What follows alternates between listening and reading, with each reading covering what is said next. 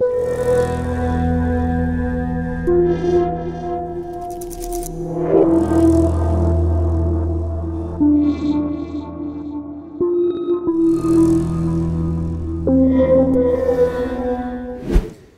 prijatelji, evo nas ponovo u čudnim pričama. Obradit ćemo tematiku za koju kažete da nedostaje u mojim pretpostavkama, a to je e, tema koja je vezana za mobilni telefon i nove dve pretpostavke koje mogu da izađu oko nestanka Mateja Periša. Naime, o čemu se radi? Mateja Periš je najverovatnije prilikom izlaska iz kluba Gotik znao tačno gde ide i sa kim treba da se nađe.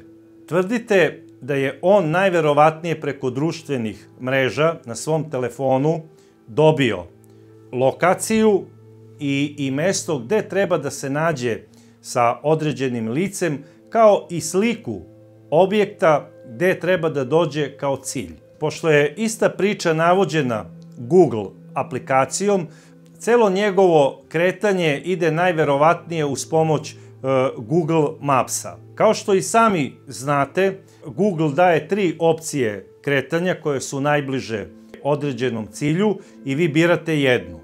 On je sigurno odabrao prvu koja je ponuđena, a to je u stvari kretanje glavnim ulicama. Pošto dečko, kao što je nama već od samog početka poznato, je prvi put u Beogradu. On izlazi, znači, iz Gotika, drži svoj telefon, aktivirana mu je aplikacija i prati mapu. Odabrao je, znači, prvu ponudu koja mu je data od strane Google-a i počinje trčanje. Za to vreme, ta maršuta trčanja, otprilike to je neka normalna priča za mladića u njegovim godinama. Ako se pretpostavi da je koristio alkohol, veću količinu ovaj alkohola, a možda usto i svašta nešto, kao što se od samog početka, znači, pretpostavlja možda speed, to je za jedan mlad organizam jedna normalna maršuta koja se pretrči za 7 i po minuta. Znači, on trči glavnom ulicom toga kvarta, Karadžorđevom ulicom, trči do Brankovog mosta i tu zaustavlja taksistu da ga najverovatnije pita gde je restoran Sava Nova zato što mu je mapa sada pokazivala neke lokacije koje ga bune. Čak u jednom momentu možda je i hteo vožnju do Sava Nove, mi to ne znamo šta je njemu tačno taksista i odgovorio, ili mu je samo rekao to ti je tu u blizini nekih 100 metara. Bilo kako bilo, on dolazi do restorana Sava Nova. Optrčava ga jednom, najverovatnije da bi bio siguran da je na mestu koje mu je naznačeno u njegovom telefonu i silazi na platformu, odnosno na terasu ispred e, restorana Sava Nova, koji se, koja se nalazi iznad same Save. Tu je najverovatnije našao koga je trebalo da nađe i po vašoj pretpostavci ušao je u čamac. To je znači prva pretpostavka. Ušao je u čamac, da li svojom voljom ili kako vi kažete, možda je na kraju krajeva i otet, a otmice za sada nema u nijednom od mojih pretpostavki, pa ste mi to stavili kao primetbu. I evo, stavljamo i otmicu kao možda jednu od pretpostavki. Jer idemo činjenicom da je Matej Periš živ i da je otišao u nepoznatom pravcu ili sa svojim prijateljima, samovoljno, koji, koji su mu tu dali i jaknu i sve šta treba za put gde su trebali da idu, ili je, znači, van svoje volje na silu odveden u nepoznatom pravcu i samo njima znanih razloga. Bilo kako bilo, ova pretpostavka je bitna iz razloga da još uvek verujemo, znači da je Matej Periš živ i da je možda otet od njemu poznate ekipe, a od nas od strane NN izvršioca. Do daljeg, ova, znači jedna od pretpostavki, ostaje u opciji. Dok ne bude bila odbačena ili dok ne bude bila realizovana pozitivnim rezultatom po pronalaženju živog Mateja Periša.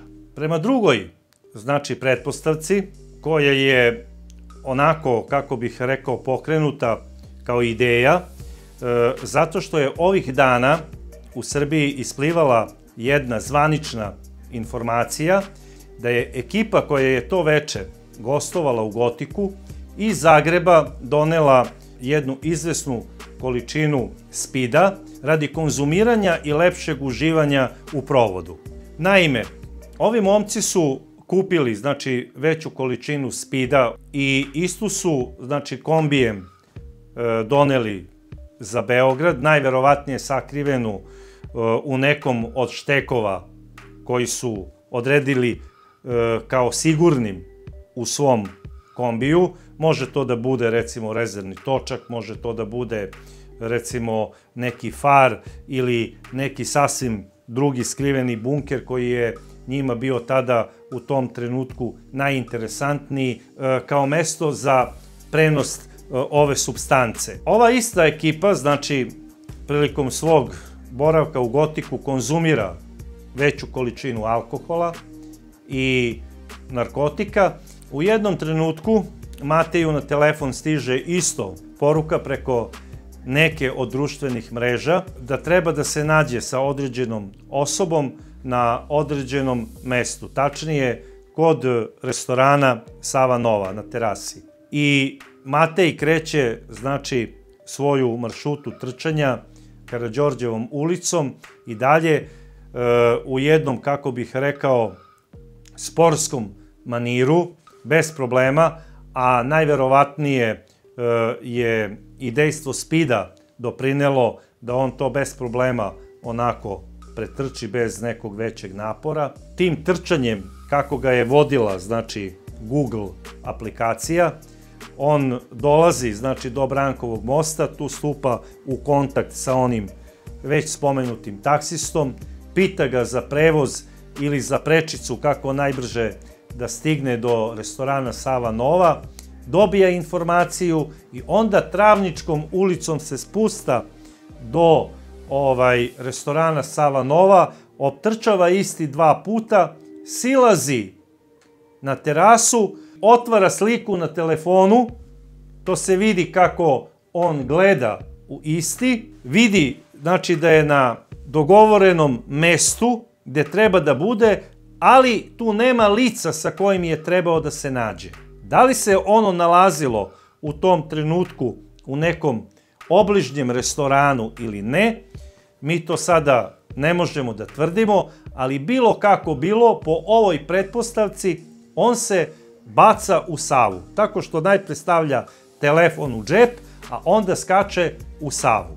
E sada se svi mi pitamo zašto on preskače ogradu i skače u savu. Prema nezvaničnim informacijama, Matej Periš je imao običaj i u Splitu da posle neke pijanke izađe napolje, optrči veći deo, recimo, kilometraže koja je oko tog restorana gde se nalazi, znači trči rivom u Splitu, koliko je smatrao da mu je potrebno, i onda se baca u more e, da bi se osvežio, odnosno otreznio. Najverovatnije ovde u, u jednom datom trenutku, možda pod uticajem alkohola ili spida, ili pod uticajem jednog i drugog, Matej nije u jednom datom momentu najverovatnije napravio razliku između Jadrana i Save, u smislu koliko je Sava opasnija od morske vode, skače u nju i odlazi u misteriju.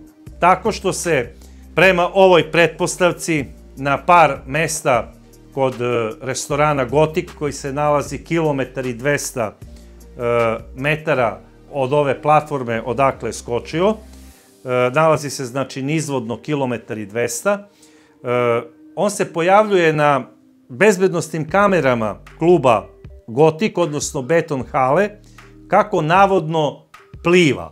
To nije dokazano od strane nikog do sad, da je navodno on u Savi i da se on nalazi na tom snimku. Snimak je dosta nejasan, ali se vidi da neki onako predmet pluta, pretpostavlja se da može da bude čovek, ali ništa sa sigurnošću ne može da se tvrdi. Međutim, e, ono što navodi da je ova pretpostavka e, tačna u smislu da je on na snimku koji pliva vodom, je signal njegovog mobilnog telefona koji je tu registrovan zadnji put pre nego što se ugasio.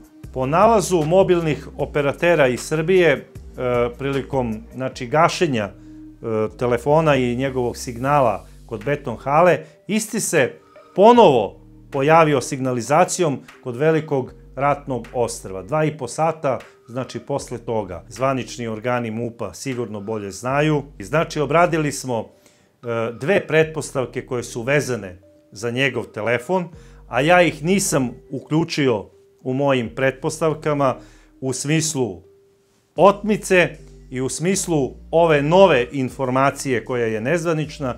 Navodno da je on imao običaj da istrči neki određeni broj kilometara, a onda posle toga ode na kupanje. Bezbrižni dani jednog mladića e, koje je provodio u radu i zabavi na lepom plavom Jadranu zauvek su prošli.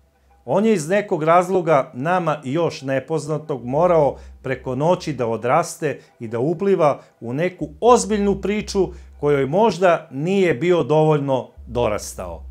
Ali ja verujem, dragi prijatelji, da će se ova priča ovog mladića skipera sa lepog plavog Jadrana nastaviti srećno. Ja vas molim, dragi prijatelji, da vašim komentarima do, dopunite ovu čudnu priču i kažete vaše mišljenje o njoj.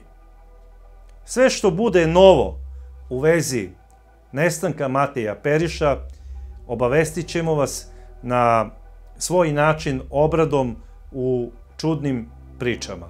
Ja se nadam da će jedna od njih biti priča sa srećnim krajem. Do iščekivanja iste, ja vas pozdravljam.